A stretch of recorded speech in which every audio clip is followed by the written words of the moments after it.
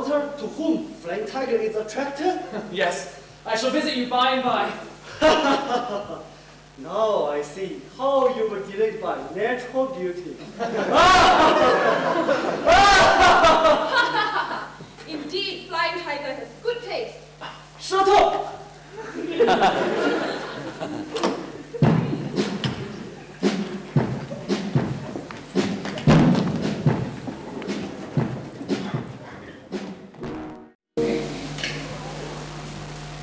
Madam has sent me to invite Mr. Jung for a feast. This must have something to do with marriage. Truly, we owe our lives to Mr. Chung.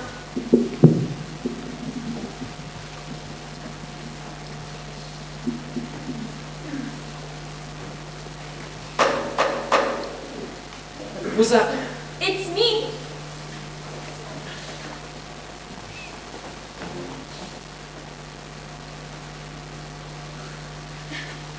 May I ask what Sister Scarlet has come here for?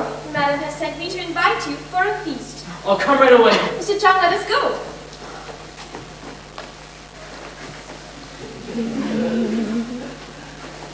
Mr. Chung, why are you pacing back and forth with your eyes fixed on the ground? Sister Scarlet, I've not brought a mirror with me on my travels. I'm borrowing the light from heaven to check on my appearance from the shadows cast. You're crazy.